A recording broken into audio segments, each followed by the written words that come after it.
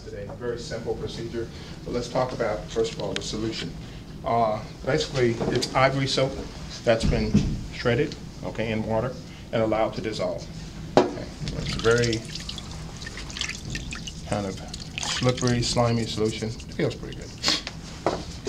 And all we're going to do is take a cast that's been trimmed, final trimmed.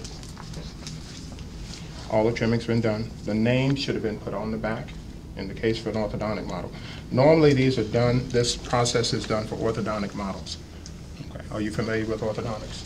Like the models? Okay, good.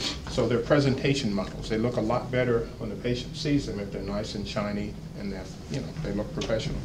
And this is one way to get them there. You can buy a commercial solution as well, but, you know, who wants to spend all that money when you can spend 50 cents for a bar of ivory soap? And the time it takes to uh, just dilute it. You can pass that around and see what the surface looks like. Okay, so all I'm going to do is on my finished or trimmed models is just set them in a solution and make sure they're covered.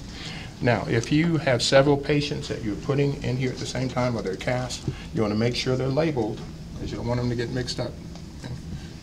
It's imperative they don't get mixed up. I'm going to save this one for the next class.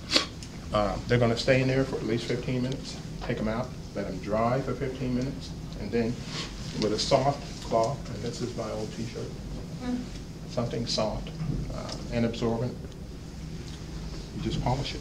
okay? And it should come out with a surface that you see there on that cast that I'm passing around. Can you just demo how to polish it, and then we'll pass it around again? mean, do it with my hands, and then I can. Or could we, could we demo with the one that's Oh, yeah, already? definitely. I'll let you see it in a minute. So once it's taken out of the soap solution, again, it's dried for 15 minutes. After the 15 minutes, just begin to polish it. Okay. And you're going to be rubbing on this for a few minutes. Okay. I think the drier it gets, um, the more it's going to polish up. This seals the cast as well. I don't know if I said that before. Soaping it seals the cast and it makes it uh, look better to present to the patient.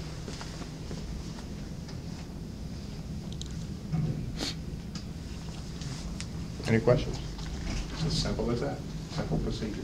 The biggest thing you want to make sure you don't do is mix them up. Okay, have them labeled before you put them in the soap. Uh, You can do that with a- a name tag, a printed name tag, label maker, or what have you, uh, a marker, or you can scribe it into the cast if you want to. But uh, whatever your doctor prefers, if you're going to be doing this. Some of you may be trimming orthodontic models. And the reference that I have here is a very good one. It's by K. uh, Al McGorman, Orthodontic Techniques. This is what I use, one of the books that I use in my, in my classes. And it tells you how to trim the models and what to do with them afterwards. So you're free to look at that if you want to. I don't know how much time you guys have. Any Thank- questions? Any questions? Everybody can do that, not a problem. Thank you so very much.